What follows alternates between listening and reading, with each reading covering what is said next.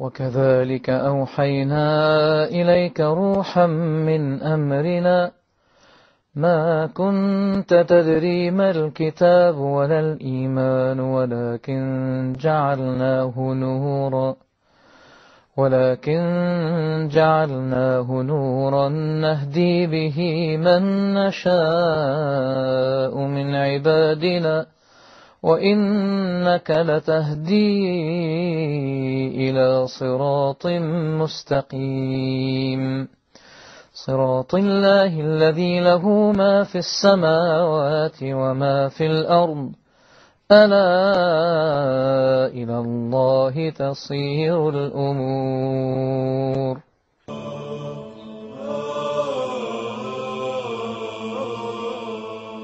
Bismillah ar-Rahman ar-Rahim. All praise due to Allah. We praise Him and we seek His help. Whomsoever Allah guides is the truly guided one, and whomsoever Allah leaves astray, no one can show him guidance. May peace and blessings be upon Prophet Muhammad sallallahu alaihi wasallam and all the prophets and messengers. Uh, dear brothers and sisters, Assalamu alaikum wa rahmatullahi wa barakatuh, and welcome again to a new episode of the Prophet's Prayer. Last time we were talking about how can one develop khushu'ah in his and her salah. How can one enjoy really their salah?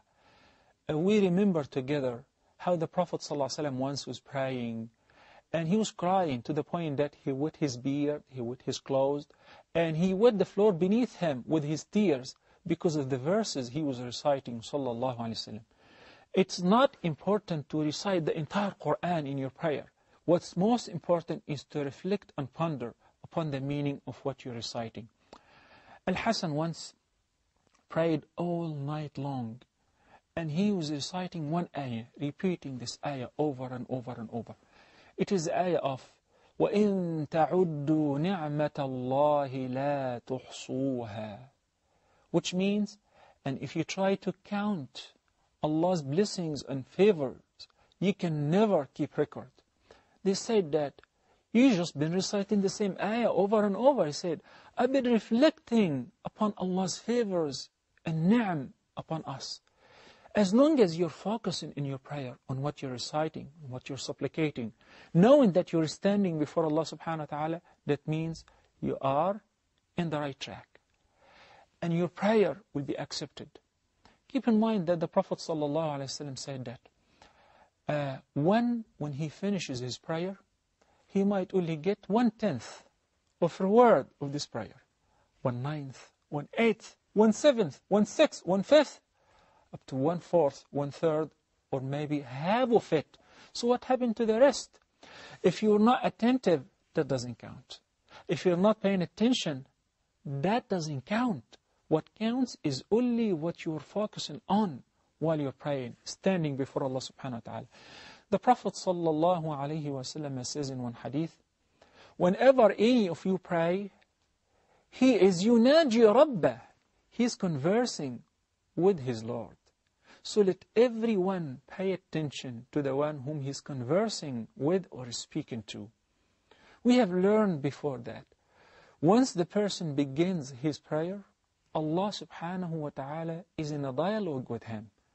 So if the person recites Alhamdulillahi Rabbil Alameen, praise be to Allah, the Lord of all that exists, Allah answers him, my servant praises me. And when the servant recites Ar-Rahman Ar-Rahim, Allah the Almighty answers back, my servant exalted me. And when the servant recites Maliki Yawmiddin, Allah subhanahu wa ta'ala will say, My servant glorified me. And whenever you come to say, إِيَّاكَ نَعْبُدُ وَإِيَّاكَ نَسْتَعِينَ It is only you whom we worship, and it is only you whom we seek His help. Allah subhanahu wa ta'ala says, That is between me and my servant. And for my servant is what he asks for. He should get what he's asking for. So get ready to ask. اهدنا الصراط المستقيم Guide us, all of us, to the straight path. The path of those whom you bestowed your favors upon them. Not of those who gained your anger and wrath. nor of those who went astray. صراط الذين أنعمت عليهم غير المغضوب عليهم ولا الضالين That's why whether you are an imam or a follower, you should reflect upon the beautiful verses which you're reciting. If you're a follower and you hear the imam is reciting so, you get ready to say, Ameen. So the imam was reciting and you're saying to his supplication, O oh Allah, answer the imam's supplication. O oh Allah, respond. But if you were sleepy and absent-minded in the salah, just prisoned by the body, it's going to happen to you what happened to a person who was praying with me, Taraweeh, once. And I was reciting a long recitation. I happened to recite in Surah Al-Waqi'ah, and I came to recite the verse, وَأَمَّا إِن كَانَ مِنَ الْمُكَذِّبِينَ الضَّالِّينَ Thereupon, I heard one of the followers was saying, Ameen. And he was odd. He sounded odd. Basically, that says and that proves the person is being present there, body without mind, without heart, because the heart is somewhere else. Anyway, that happens. But that's why if you're reciting or if you're listening, listen to this. The Prophet ﷺ was recorded as that he would recite slowly with a beautiful slow rhythm, with a beautiful recitation, and he would stop and pause by the end of every ayah. Why? If you keep in mind that after you recite the ayah, Allah is answering you back. So why is the hurry? Why is the rush? You wait. And you do not join several verses together. So the practice of some people, what they call them an express recitation, doesn't work with us. Understanding not necessarily all the meanings, because I understand that some would say, well, I'm not lucky enough to know Arabic. I wasn't born with an Arabic tongue. I don't know what the Sheikh is reciting. I have memorized certain surahs, but I don't even know their meanings. Well, whenever you're reciting yourself, at least, at least, spend some time to learn the meanings of the surahs, even the small surahs, which you have memorized so that you can enjoy the recitation in the salah. This is the meaning of as-salah, a connection, a dialogue between the servant and Allah subhanahu wa ta'ala. Now, another very important mean can help us to develop khushu' in salah is, as the Prophet ﷺ advised us, that whenever you come to pray, remember death. What happens in the salah, we remember everything that we have forgotten even the lost items, everything that's worldly, to distract our attention from what we should be focusing on, which is as-salah and Allah. So when you remember death, that eliminates this factor of distraction. What happens, the Prophet ﷺ says, pray as this is your farewell prayer.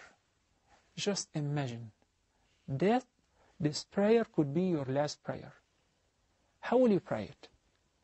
If this is your last prayer, if you are told the last act of worship that you're going to make before you die is this very last prayer, how would you pray? Do you think that you would have any chance to think about your business, about your family, about your vehicle, about anything else? Of course not. You would focus on one thing, how to make it perfect so that will be accepted. Not one-tenth, not one-half, but 100%. So remember, death, this is not scary, but it is one of the means which would help the person to acquire khushu' in the salah. We have to keep in mind that we're always in a battle with a shaitan al-rajim, the outcast Satan. A shaitan promised, and he made a vow that ثم لآتينهم من بين أيديهم ومن خلفهم وعن أيمانهم وعن شمائلهم that I shall come to them from in front of them and from behind. I shall come to them from the right, from the left, from every direction. Why? To mislead us. So are you going to be inactive, passive, not do anything? Of course not. Especially when you know that Allah subhanahu wa ta'ala informed us that كيد الشيطان is weak. إن كيد الشيطان كان ضعيفا. Indeed, the plot and the plans of Satan are very weak. Shaitan, you can defeat easily. Allah subhanahu wa ta'ala called him al-waswas because he whispers. That's his job. That's his main task in life, to whisper. But al-khannas, that he turns back, he runs away, he disappears once you mention the name of the most powerful one. That's why we begin our prayer by seeking refuge with Allah from the outcast Satan. أعوذ بالله من الشيطان الرجيم or أعوذ بالله السميع العليم من الشيطان الرجيم من همزه ونفخه ونفثه that helps a lot to cut all the roads on shaitan that can mislead you many people complain that I can never concentrate in my salah shaitan is always after me and this is a reality as a matter of fact one of the companions by the name Abu al-As came to the Prophet ﷺ and said, Ya Rasulullah, as shaitan always comes in my way while praying, confuses my recitation. I, I don't know what I'm reciting. I cannot focus in my prayer. The Prophet ﷺ said, sure, this is a shaitan by the name Khanzab.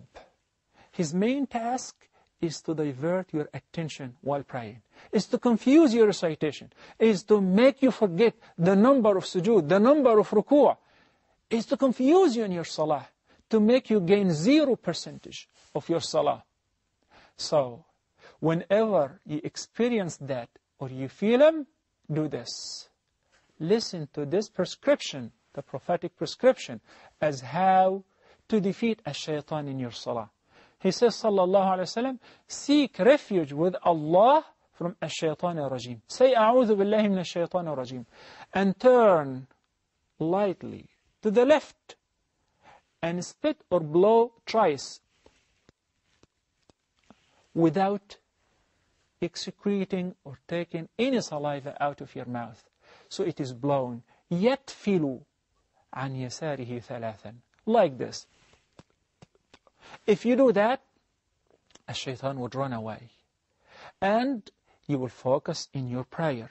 Each time you feel that a shaitan is after you, because he's like making an ambush. He's waiting to interrupt you, to make you lose your prayer. That's his main task. So you can defeat him by seeking the help of the greatest help of Allah subhanahu wa ta'ala. Then, we're having so many beautiful opportunities to live with Allah subhanahu wa ta'ala in the salah, in the entire salah, particularly while in sujood, while making dua, were required and were asked by Allah subhanahu wa ta'ala to supplicate to Him, invoke Him and beg of Him. Allah subhanahu wa ta'ala says, وَقَالَ رَبُّكُمُ دُعُونِي أَسْتَجِبْ لَكُمْ And your Lord have said, supplicate to me, invoke me, I shall answer you. The best position to do so is while you are in sujood. As the Prophet ﷺ said, فَأَكْثِرُوا مِنَ الدُّعَاءِ وَأَنْتُمْ سُجُودٌ Keep your mind and heart busy. Live in the company of Allah subhanahu wa ta'ala that you may develop khushu'a. جزاكم الله خيرا and hope to see you next time. We'll continue with developing khushu'a in the salah. السلام عليكم ورحمة الله وبركاته.